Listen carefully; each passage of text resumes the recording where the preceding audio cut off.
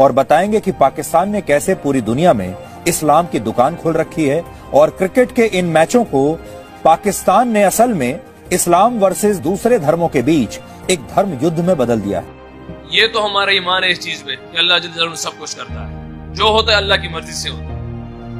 मगर अल्लाह बेहतरीन इंसाफ करने वाले कुरान में हर जगह पे।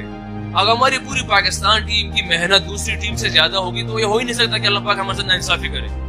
अगर हमारी सारी मुल्क जितनी भी हमारी टीम इसकी मेहनत किसी दूसरी टीम से कम हुई, वो ऑस्ट्रेलिया, इंग्लैंड, न्यूजीलैंड, जो टीम भी हुई तो हो ही नहीं सकता कि पाकिस्तान जीत जाए।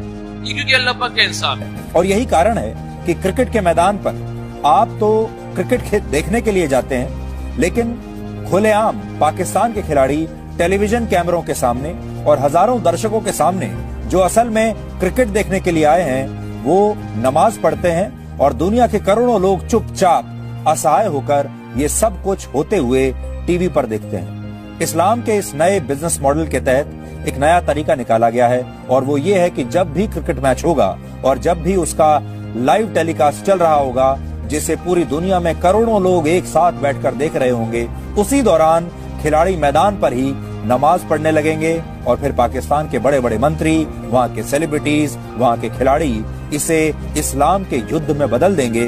अब अल्लाह पाक भी इसलिए छोड़ रहा है क्योंकि अल्लाह पाक से हम रिज़ल्ट मांग रहे हैं। टॉस हमारे हाथ में नहीं है वेदर हमारे हाथ में नहीं है बहुत सारी चीज़ें एजेस अब हमारे हाथ में नहीं है। सम क्योंकि हम कुछ दूसरी टीम को ये तो नहीं कराते कि हम उसको के ड्रॉप करा दें। ये तो थोड़ी हमने कराया हुआ है। जो अल्लाह जल्लाहु की बरकत होती साथ हम सारे एक होते हैं जहाँ पे एक, एक, टीम बनी होती है तो बरकत वहाँ पे आती है। जो जो टीम अक्सर आप देख ले, उसमें जेल होती है, उसकी एजेस उनके फेवर में जाते हैं नो बॉलों के फेवर में जाते हैं। तो ये वो गैबी मदद है। और बींग मुस्लिम आपको बताया कि हम इस चीज़ पे बिलीव रखते हैं। और अल्हम्दुलिल्लाह, मुसलमान तो जो जो कलमे की उसकी ताकत उनके पास है वहीं कहीं पे डर तो नहीं सकता। अल्हम्दुलिल्लाह, हमारी कौम तगड़ी कौम है। और हम इस चीज़ पे आएँगे तो इंशाल्लाह वो जगह जगह